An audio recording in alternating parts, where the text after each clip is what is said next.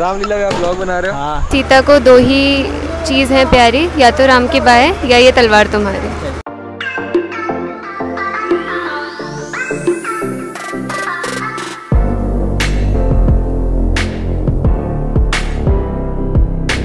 Hello guys welcome back to our new video और आज हम जा रहे हैं। भाई बताएँगे कहाँ जा रहे हैं? रामलीला।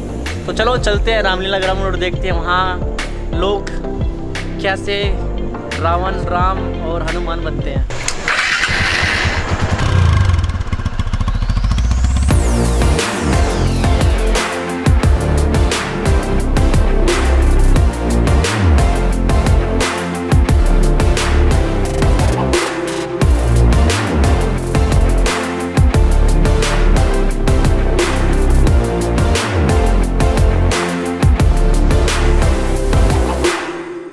गाइस अभी हम पहुँच चुके हैं रामलीला में। ये है राम जी और ये है लक्ष्मण जी।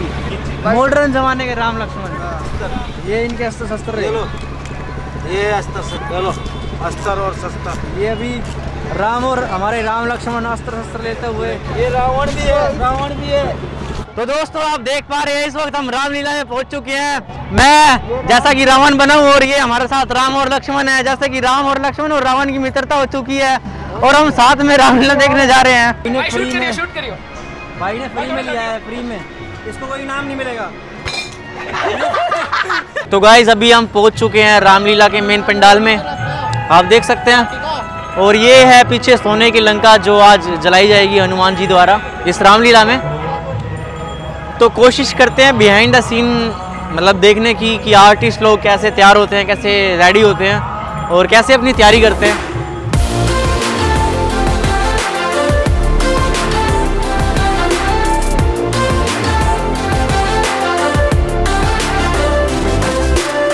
तो हमारे साथ एक आर्टिस्ट है। भैया आपका नाम? इंद्र त्रिपाठी। आपका कार्य क्या है यहाँ पर? मैं यहाँ रामलीला में वॉइस ओवर आर्टिस्ट हूँ। वैसे अभी सारे तैयारी हो रहे हैं। हाँ कोई नहीं हमने वही देखना है तैयार कैसे होते हैं। इसमें बहुत स्ट्रगल होता होगा। अरे स्ट्रगल क्या? लेकिन वही है। आ, आप हो बेसिकली आप हो कहाँ से?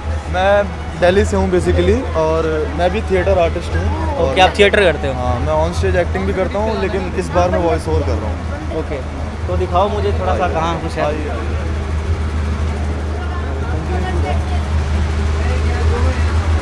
हमारे सारे आर्टिस्ट हैं।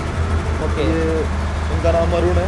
अरुण जी। हाँ ये आज अंगद का कैरेक्टर कर रहे तो आप देख सकते हैं सभी लोग आर्टिस्ट लोग तैयार हो रहे हैं। हैं ये हमारे सचिन है इनका नाम सचिन आप क्या किरदार निभा रहे हो?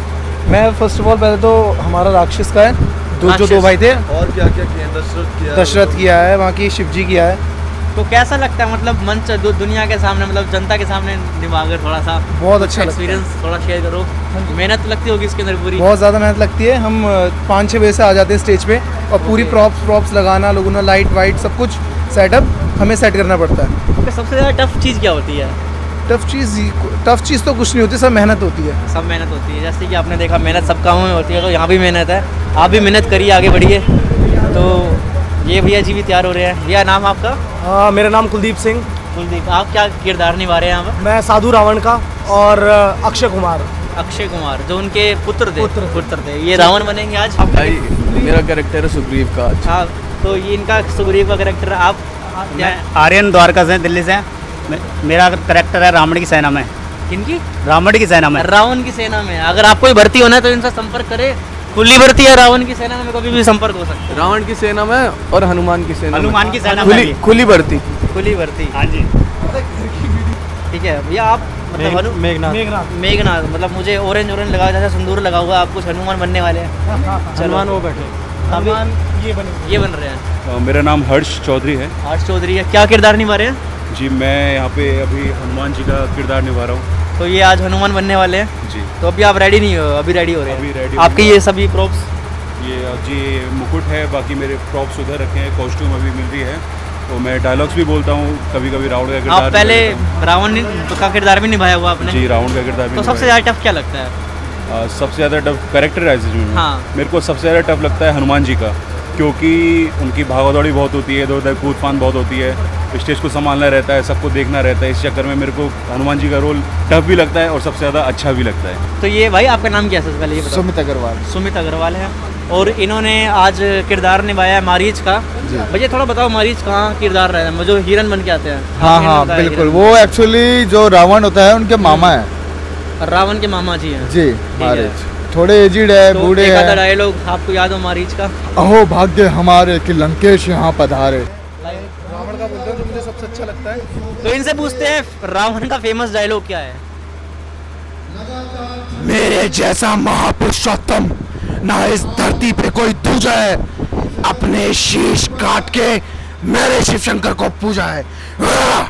ठीक है तो चलते हैं अभी दूसरी जगह पर देखते हैं वहाँ क्या तैयारियाँ चल रही हैं।